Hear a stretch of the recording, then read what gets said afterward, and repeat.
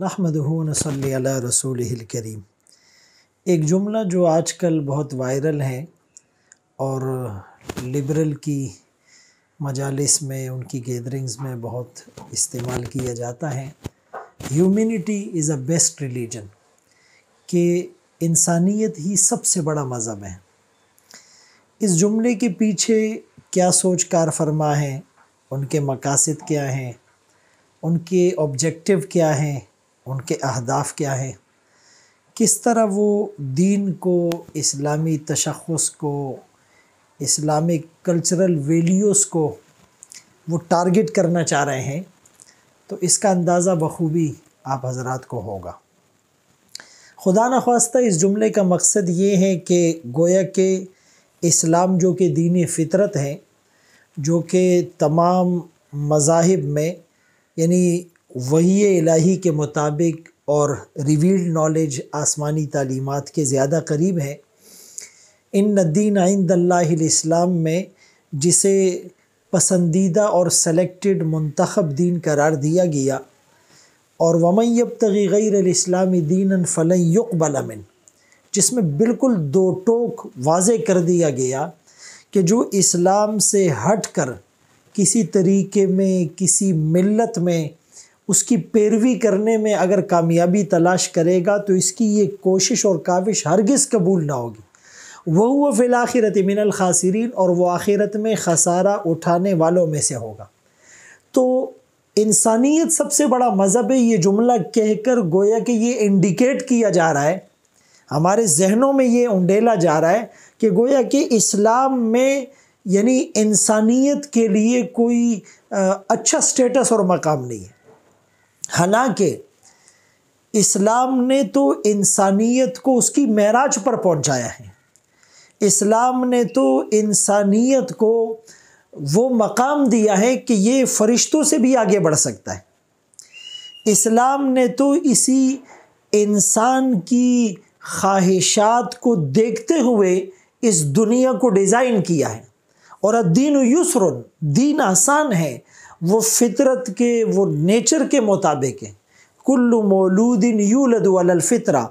ہر بچہ فطرت پر پیدا ہوتا ہے، جیسے پانی پر جو ہے وہ تیراکی کرنا فطرت ہے اور روڈ پر گاڑی چلانا فطرت ہے اور ریلوے ٹریک پر ٹرین کا چلنا جو ہے وہ فطرت ہے اور ہوا اور خلا میں جہاز کا اڑنا فطرت ہے۔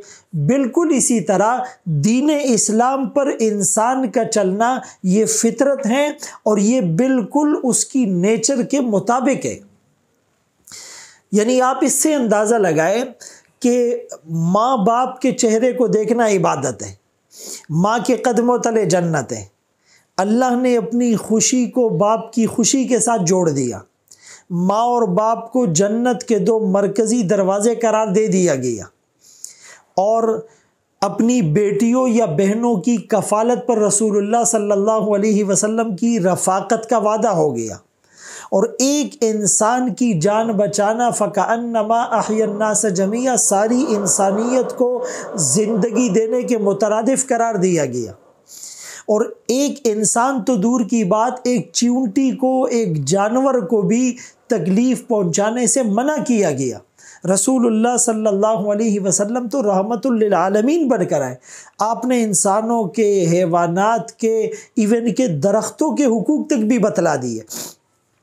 اسی انسان، اسی اسلام میں ہے، المسلم و من سلم المسلمون من لسانی ہی ویدی کہ حقیقی مسلمان وہ ہیں جس کی زبان اور ہاتھ کی ایزا سے دوسرا مسلمان محفوظ رہے۔